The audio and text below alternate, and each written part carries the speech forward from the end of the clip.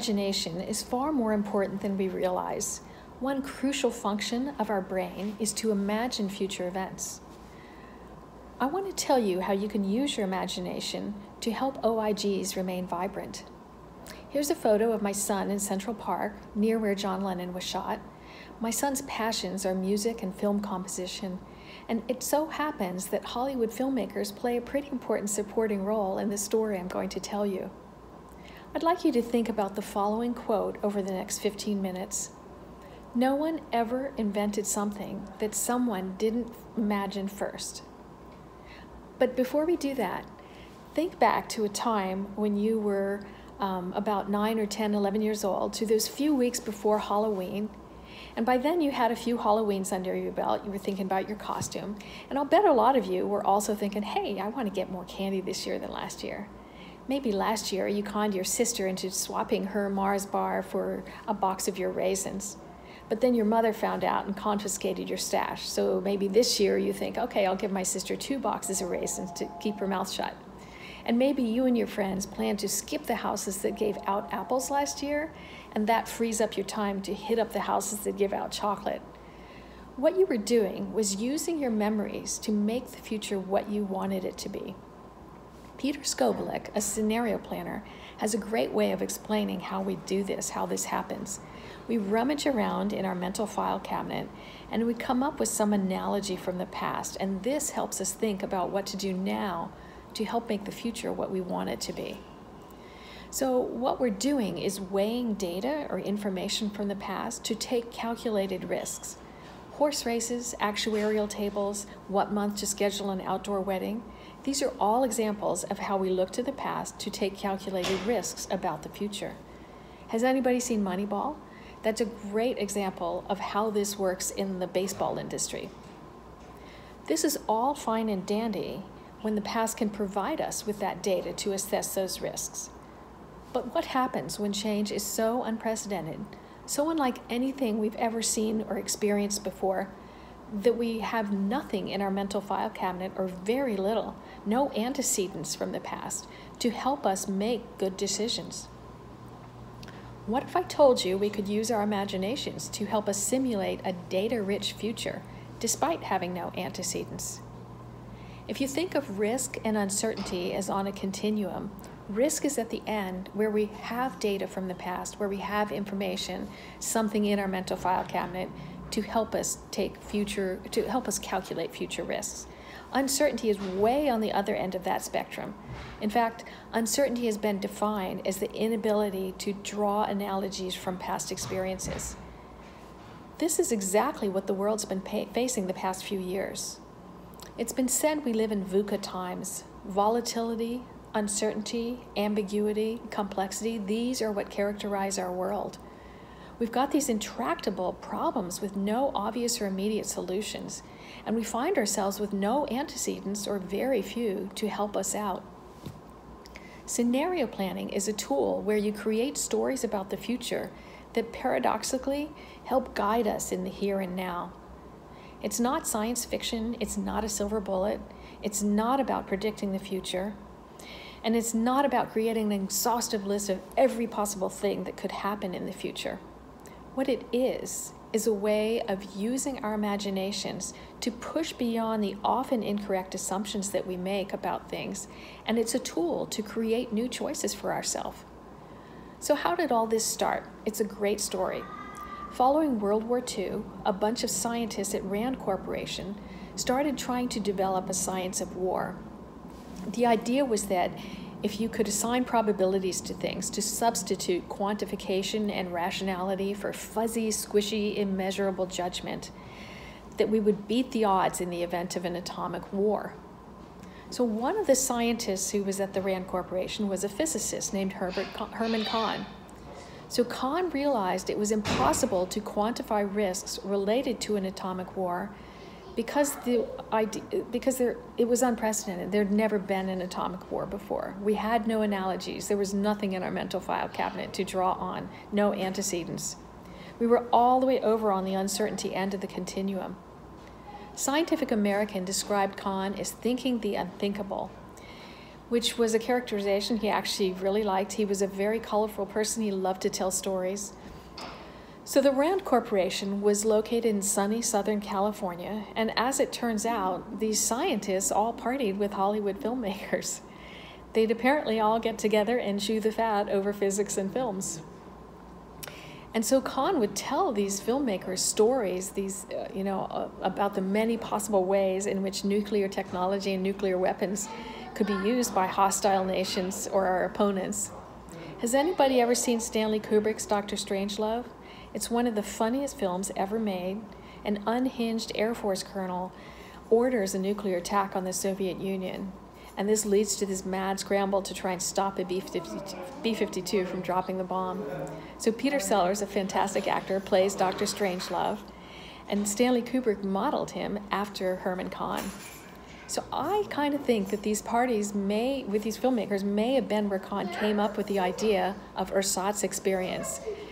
Basically, he said, it's using our imaginations to create a fake antecedent where we don't have anything in our mental file cabinet. Kahn said, let's make up stories about the future, and these will be our antecedents. So this is a good kind of fake data. And by the way, it was another filmmaker, Leo Rosten, who was a comedy writer, who dubbed this scenario planning.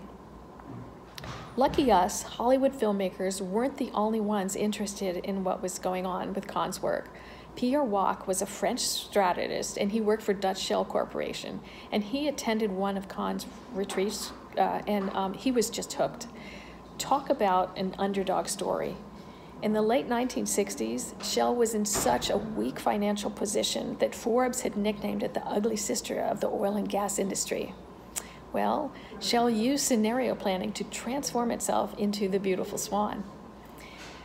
Scenario planning helps Shell prevail during many crises, including the 1973 energy crisis, the oil shock, uh, or the price shock of uh, 1979, the collapse of the oil and gas market in the 1980s, and the fall of the Soviet Union. One of two essential skills that every good leader must have is the ability to get things done. That's that goes without saying. What Wack realized is that there's something else that's equally important and harder to achieve. This is the ability to see ahead.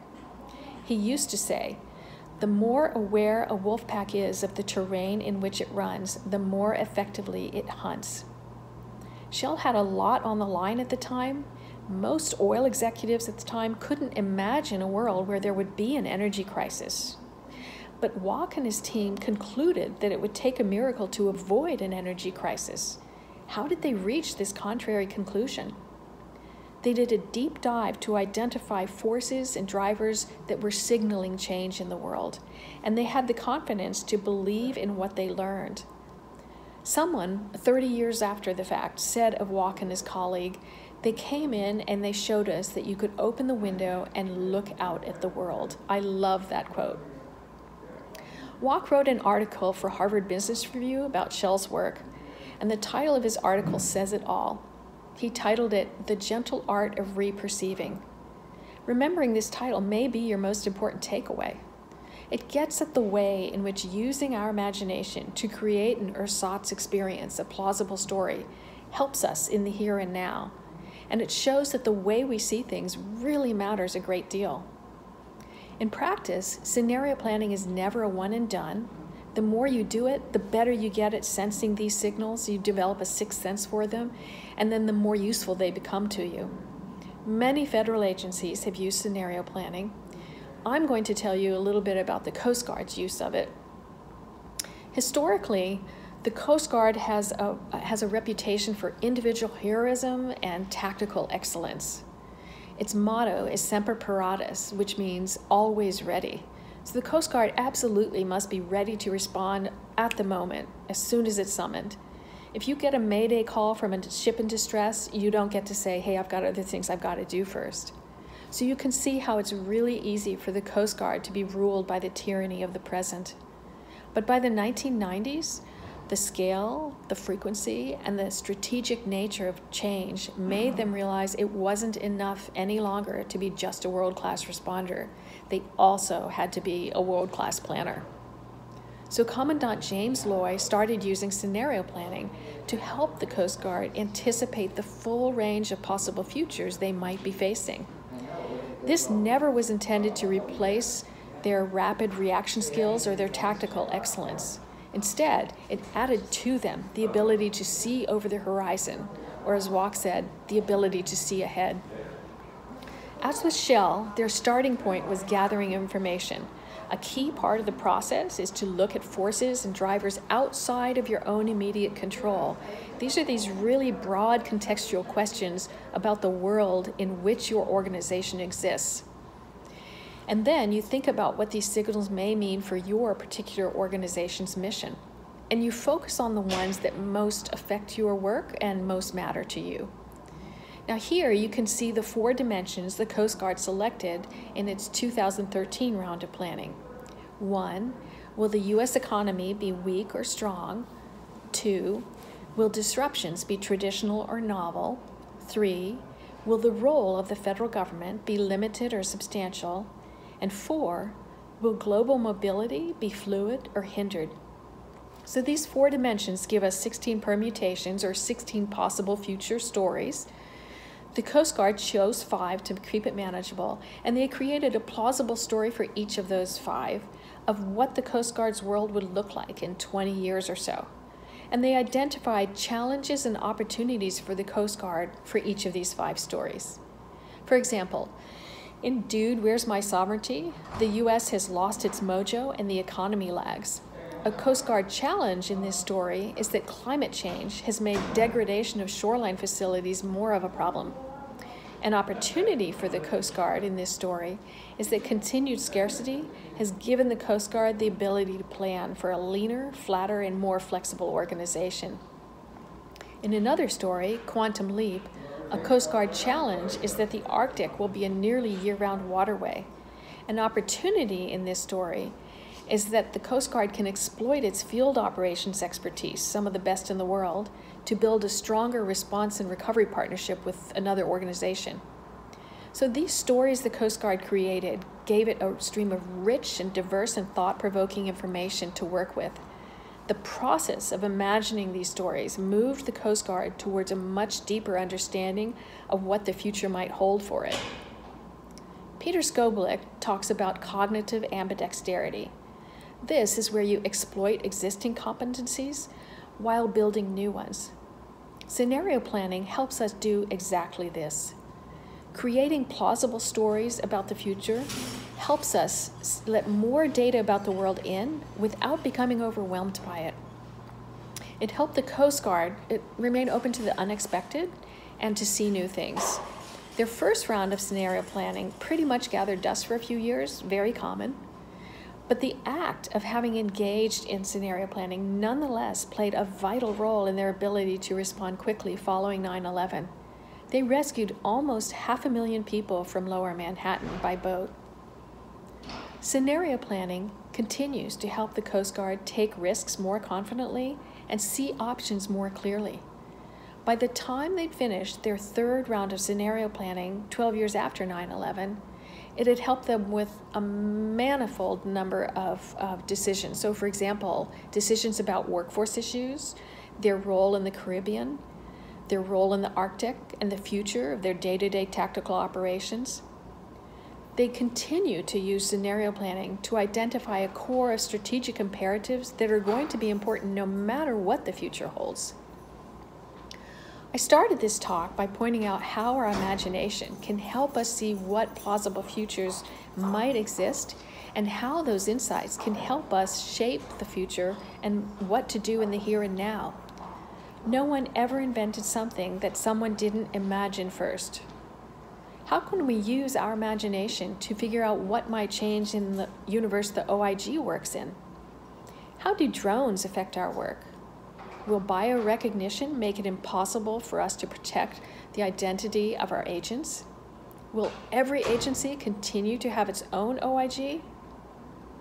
Is it possible Congress might decide the cost of OIGs outweighs their usefulness?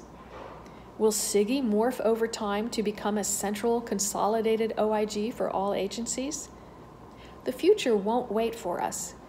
Let's use our imaginations now to make the OIG's future what we want it to be. And maybe someone here today will become a model for a character in a future Wes Anderson movie.